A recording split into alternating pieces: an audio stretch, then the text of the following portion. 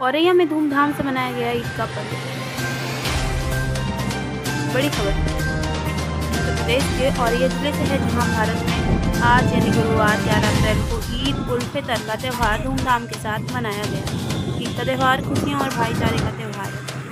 रमज़ान का पाक महीना पूरा होने के बाद सवाल महीने की पहली तारीख को ईद का त्यौहार मनाया जाता है। जम्मू कश्मीर और लद्दाख के हिस्से को छोड़कर भारत में बुधवार शाम सवाल का चाँद नज़र आ रहा है। जिससे अब पुष्टि हो गई कि गुरुवार को ईद मनाई जाएगी वहीं जम्मू कश्मीर व लद्दाख में एक दिन पहले ही सवाल का चाँद नज़र आ गया।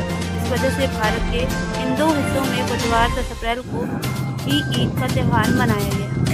ईद के दिन सबसे पहले नमाज़ अदा की जाती है। नमाज़ के बाद एक खास दुआ भी होती है, जिसमें पूरे विश्व के लिए शांति और अमन की कामना की जाती है। ईद की नमाज़ पढ़ने के बाद लोग गले लग कर एक दूसरे को ईद के त्यौहार की बधाई